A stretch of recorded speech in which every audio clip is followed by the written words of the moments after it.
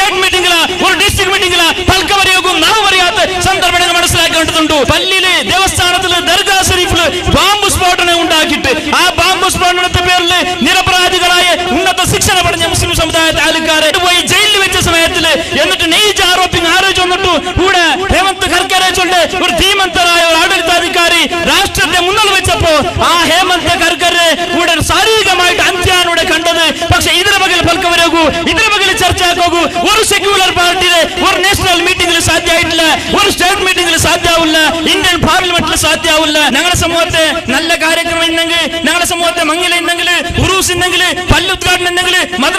ഇന്നെങ്കിൽ എല്ലാ സെക്യുലർ മുഖപാടുള്ള നേതാക്കന്മാർ സ്റ്റേജിൽ വെച്ചിട്ട് മാലെടുപ്പാടാറ് സന്മാനാക്കിടാറ് പക്ഷേ ഞങ്ങളുടെ സമുദായത്തെ ബാധിക്കേ കഷ്ട കാർപ്പണ്യ സമസ്യ തൊന്തർ വർമ്മത്തു തിരിഞ്ഞു നോക്കില്ല ഇത് ഞങ്ങൾ മനസ്സിലാക്കണു ഇത് ഞങ്ങൾ അർത്ഥാക്കണു അതുകൊണ്ട് ഞങ്ങളുടെ സമൂഹത്തിൽ ഉറൂസുക്ക് വന്നില്ലെങ്കിൽ ആവൂ അല്ലെ പല്ല് ഉദ്ഘാടനം വന്നില്ലെങ്കിൽ ആവൂ പക്ഷെ പല്ലിക്ക് കല്ലെറിഞ്ഞപ്പോ ഇങ്ങ പറഞ്ഞു പല്ലിക്ക് പന്നി ഇറച്ചെറിഞ്ഞപ്പോ ഇങ്ങ പറഞ്ഞു ആ പല്ലി പൊളിക്കുമ്പോ ഇങ്ങ പറഞ്ഞു മുസ്ലിമുകളെ അംസാധ്യ ചെയ്യുമ്പോ ഇങ്ങ പറഞ്ഞു എന്തുകൊണ്ട് ഇങ്ങ പണ്ടില്ല ബാമ്പ് സ്ഫോടനം നടത്തിയങ്ങ ബാബരി മസ്ജിദ് ധ്വംസാക്കിയങ്ങ ലിബറഹൺ ആയോഗത്തെ വറുതി വന്നിട്ട് ആരോപികളെ പട്ടു കൊടുത്തപ്പോ പോലും അങ്ങനെ മൊബൈൽ നമ്പർ അങ്ങനെ ഹിന്നലമാ അങ്ങനെ കുടുംബമാ അങ്ങനെ അങ്ങനെ പക്ഷമ അങ്ങനെ പാർട്ടിയ ഒരിക്കൽ അവിടെ വിചാരണയ്ക്ക് ഒളപ്പെട്ടിട്ടില്ല എന്തുകൊണ്ടോട് കേൾക്കുന്നതായ ജവാബ്ദാരി സെക്യുലർ പാർട്ടി എം പിമാർക്കുണ്ടു സെക്യുലർ പാർട്ടി മന്ത്രിമാർക്കുണ്ടു സെക്യുലർ പാർട്ടി എം എൽ എമാർക്കുണ്ടു. അതുകൊണ്ട് ആ സ്വരം അങ്ങ് ആക്കണു അങ്ങ് ആക്കിയിട്ട് പിന്നെ ഈ സമുദായത്തെ വോട്ട് കേൾക്കോ പറഞ്ഞു. ഈ കാര്യം നല്ല പോലെ എല്ലാ പാർട്ടി എല്ലാ പക്ഷത്തുക്ക് ഈ സമുദായത്തെ ഒത്തു കൊടുത്തിട്ടില്ലേ. നാമധാരി മുസ്ലിം നേതാക്കന്മാർ മനസ്സിലാക്കൊണ്ട് ചെന്നിട്ട്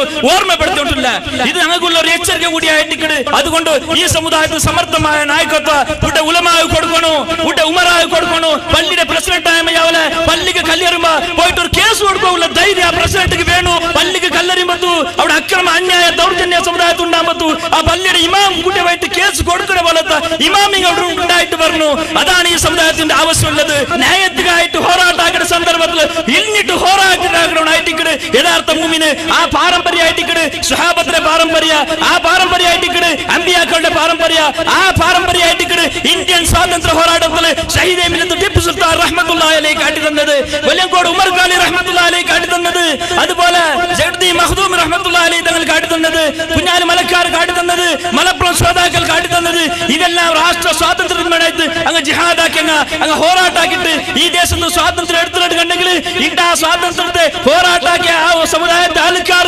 ഇവിടെ ജീവിക്കോ സാധ്യമില്ലാത്ത പരിസ്ഥിതി നിർമ്മാണാക്കിക്കൊണ്ടുള്ളാറ് എവിടെ ഒരു പള്ളി കെട്ടണമെങ്കിൽ എവിടെ ഒരു മദ്രസ കെട്ടണമെങ്കിൽ അത് അധികൃതമായ കാനൂണിന്റെ ചൗക്കട്ടിൽ എല്ലാ രേഖയും ശരിയാക്കേണ്ട കണ്ടെങ്കിൽ പോലും പിന്നെ ഏതെങ്കിലും ഒരു സംഘപരിവാരുടെ അനുമതി കൂടി വേണം അതൊക്കെ അത് പാസ് ഡി സി പാസ്സാക്കാനുണ്ട് കണ്ടെങ്കിൽ ഇങ്ങനെയുള്ള ഒരു അവസ്ഥ കണ്ടു പോയിട്ടില്ലേ അതുകൊണ്ട് ഈ എല്ലാ സമസ്യകളും അർത്ഥമായിട്ട് സമുദായം ഒന്നായിട്ട് സമുദായയുടെ ഇസ്സത്തുവനായിട്ട് സമുദായയുടെ സ്വാഭിമാനത്തുവനായിട്ട് സമുദായയുടെ അസ്തിത്വ ഉളിയോവനായിട്ട് നാണു ഇല്ലെങ്കിൽ നാണു നന്റെ കുടുംബ നാശായ സ്വന്തം സാറില്ല ഈ സമുദായ ഇസ്സത്തിൽ അഭിമാനത്തിൽ അന്തസ്സിലൂടെ ജീവിക്കണം എന്ന നീയത്തില് ഓരോരുത്തരും പോരാട്ടത്തിൽ കൈ ജോഡിച്ചണു പോരാട്ടത്തിലൂടെ ഹക്കിടെ പടഞ്ഞെടുക്കണു അള്ളാഹു അനുഗ്രഹിക്കുമാറാകട്ടെ വാഖിറു ദഅവാന അനിൽ ഹംദുലില്ലാഹി റബ്ബിൽ ആലമീൻ അസ്സലാമു അലൈക്കും വറഹ്മത്തുള്ളാഹി ಸಾವಿರದ ಒಂಬೈನೂರ ನಲವತ್ತೆಂಟರ